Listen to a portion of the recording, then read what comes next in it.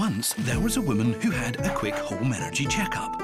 She got energy saving items installed at no additional cost and lived energy efficiently ever after. Schedule yours at bgesmartenergy.com.